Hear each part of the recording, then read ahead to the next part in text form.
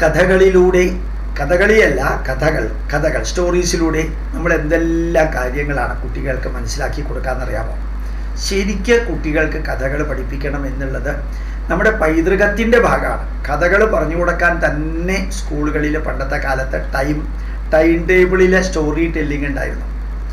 ആ കഥകൾ നമ്മൾ നമ്മുടെ പുരാണങ്ങളിലെ കഥകളാണ് പറഞ്ഞു കൊടുക്കുക. നമ്മൾ ഓർമ്മിക്കാനുള്ള ഒരു കാര്യം ഒരു കഥ നമ്മൾ പറഞ്ഞു കൊടുത്തത് കൊണ്ട് അവസാനിക്കില്ല. ആ കഥ പറഞ്ഞു കൊടുത്തതിന് ശേഷം ഇപ്പോൾ നമ്മൾ ധ്രുവന്റെ കഥയാണ് പറഞ്ഞു കൊടുക്കുന്നതെങ്കിൽ നമ്മൾ ആ കഥ പറഞ്ഞു കൊടുത്തതിന് ശേഷം പറയും ആരുടെ കഥയാണ് മോനെ കേൾപ്പിച്ചത്? ധ്രുവന്റെ ധ്രുവന്റെ കഥ ധ്രുവന്റെ അമ്മയുടെ പേരെന്തായിരുന്നു? ധ്രുവൻ എന്താ ചെയ്തത്? ധ്രുവൻ പിന്നീട് രാജാവായത് എങ്ങനെയാണ്? ആ മോൻ അതിൽ നിന്ന് എന്താ മനസ്സിലാക്കിയത്? ഇങ്ങനെ കുറേ കാര്യങ്ങൾ നമ്മൾ കുട്ടികളോട് ചോദ്യം ചോദിക്കണം. ഈ ചോദ്യം ചോദിക്കുന്നത് കൊണ്ട് എന്താ ഗുണമെന്ന് വെച്ചാൽ കുട്ടികളുടെ മെമ്മറി വളരെ കാര്യമായിട്ട് വളരും. ഈ കഥയുടെ സംസ്കാരം അതാണ്. ശരിക്ക് നമ്മുടെ എം ടി വാസുദേവൻ നായർക്ക് ജ്ഞാനപീഠം അവാർഡ് കിട്ടിയപ്പോൾ എം ടി വാസുദേവൻ നായർക്ക് ജ്ഞാനപീഠം അവാർഡ് കിട്ടിയപ്പോൾ സംഭവിച്ചത് എന്താ അറിയോ? നമ്മുടെ കേരളത്തിലെ യൂണിവേഴ്സിറ്റി കേരള യൂണിവേഴ്സിറ്റി ട്രിവാൻഡ്രത്ത് സെനറ്റ് ഹാളിൽ വലിയൊരു സ്വീകരണം അറേഞ്ച് ചെയ്തിരുന്നു. ആ സ്വീകരണത്തിൽ എം ടി വാസുദേവൻ നായർ ഇങ്ങനെ സ്റ്റേജിൽ ഇരിക്കുകയാണ് ആൾക്കാർ വരുന്നേ ഉള്ളൂ. അപ്പോൾ അദ്ദേഹത്തിന്റെ അടുത്ത് ചെന്നിട്ട് കുറേ കുട്ടികൾ ചോദിച്ചു. അങ്ങക്ക് ജ്ഞാനപീഠം അവാർഡ് കിട്ടിയപ്പോൾ അങ്ങ് ആരെയാണ് ഓർത്തത്? ഉടനെ എം ടി വാസുദേവൻ നായർ പറഞ്ഞെന്തറിയാമോ ഞാൻ എന്റെ അമ്മയെയും അമ്മൂമ്മയെയുമാണ് ഓർത്തത്. അതെന്താ അങ്ങനെ അമ്മയും അമ്മൂമ്മയും ഓർക്കാൻ കാരണം?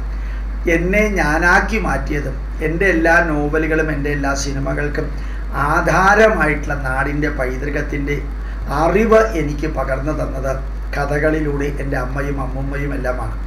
അതുകൊണ്ട് എന്നെ ഞാനാക്കി മാറ്റിയതും ഈ ജ്ഞാനപീഠം അവാർഡ് കിട്ടാൻ എനിക്ക് പ്രവർത്തിക്കാനുള്ള പഠിക്കാനുള്ള എല്ലാ അവസരങ്ങളും തന്നത്.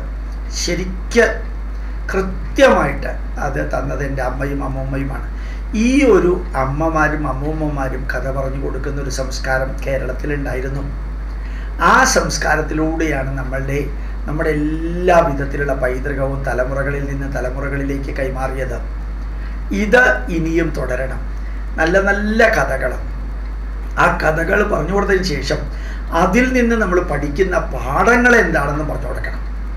അതിലെ നന്മയുടെ ചിന്തകൾ സംസ്കാരത്തിന്റെ മഹത്വങ്ങൾ ആ കഥയിൽ നിന്ന് പഠിക്കേണ്ട ഓരോ കഥാപാത്രത്തിന്റെയും ഗുണദോഷങ്ങൾ ദേഷ്യം വന്നാൽ എന്താ സംഭവിക്കുക? അഹങ്കരിച്ചാൽ എന്താ സംഭവിക്കുക? വാശിയുണ്ടെങ്കിൽ എന്താ സംഭവിക്കുക? ഇങ്ങനെയുള്ള കുറേ കുറേ കുറേ ചോദ്യങ്ങൾ നമ്മൾ ഈ കുട്ടികളോട് ചോദിക്കണം. അപ്പോൾ കഥകൾ നമ്മളുടെ ആചാരങ്ങളുടെ ഭാഗമാണ്. ശരിക്ക് പരീക്ഷിത്ത് മഹാരാജാവിന് ഏഴ് ദിവസത്തിനകം മരിക്കുമെന്ന് ശാപം കിട്ടിയപ്പോൾ അദ്ദേഹത്തിനെ ശരിക്ക് ആ മരണത്തെ അഭിമുഖീകരിക്കാനുള്ള ചങ്കൂറ്റം ഉണ്ടാക്കിയത് ശ്രീശുഖ ബ്രഹ്മർഷി കഥ പറഞ്ഞു കൊടുത്തിട്ടാണ്. അതാണ് മുന്നൂറ്റി അൻപത്തഞ്ചോളം അധ്യായങ്ങളുള്ള ഭാഗവതമായി മാറിയത്.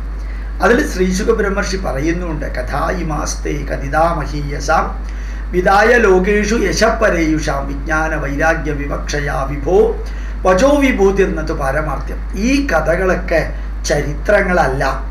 അത് സയന്റിഫിക് ടെമ്പർ വിജ്ഞാനം ഉണ്ടാക്കണം. അതേപോലെ തന്നെ വൈരാഗ്യം ബോണ്ടേജ് ഇല്ലാത്ത ഒരു ജീവിതം ഉണ്ടാക്കണം.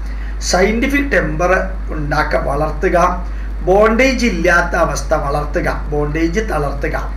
ബോണ്ടേജ് ഇല്ലാത്ത അവസ്ഥയെ കൂട്ടുക. ഇതിനു വേണ്ടിയിട്ടാണ് ഈ കഥകളൊക്കെ പറയുക.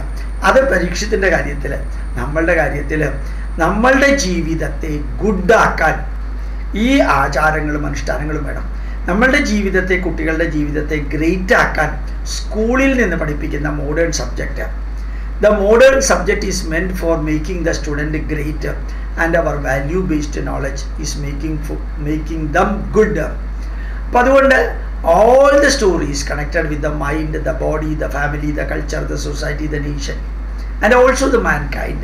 ഇതൊക്കെ വളരെ വളരെ ഇമ്പോർട്ടൻ്റ് ആണ് which is meant for the integration of our nation and remember that it will change the mind of the student or even our self വലിയ വലിയ കഥകൾ കേൾക്കുമ്പോഴാണ് ശരിക്കും വലിയ വലിയ കാര്യങ്ങളായി മാറുന്നത് അത്. ആ കഥകൾ കേൾക്കുന്ന കുട്ടികളെ കുറേ കഴിയുമ്പോൾ കഥകളിൽ ചോദ്യങ്ങൾ ചോദിക്കും. പിന്നെ നമ്മൾ ഉത്തരം പറയും. ചില കഥകളിൽ മറുചോദ്യങ്ങൾ ചോദിക്കും. ചിലപ്പോൾ ഒരു തർക്കോത്തരം മാതിരി പറയും. ഇതെല്ലാം നമുക്ക് കൺട്രോൾ ചെയ്യാൻ സാധിക്കുന്ന അനുഭവങ്ങളാണ് കഥകൾ പറഞ്ഞു കൊടുക്കുമ്പോൾ അപ്പോൾ നമുക്ക് നമ്മുടെ കുട്ടികളെ നന്നാക്കാനും നമുക്കും ഈ കഥകളും അനുഭവങ്ങളും എല്ലാം പ്രയോജനപ്പെടട്ടെ എന്ന് പ്രാർത്ഥിക്കുന്നു. മൂന്ന് കാര്യങ്ങളാണ് ഇന്ന് പോസ്റ്റ് ചെയ്തത് നല്ലോണം പഠിച്ച് മറ്റുള്ളവർക്കും കൂടി പറഞ്ഞു കൊടുക്കുക. പ്രണാമം നമസ്കാരം.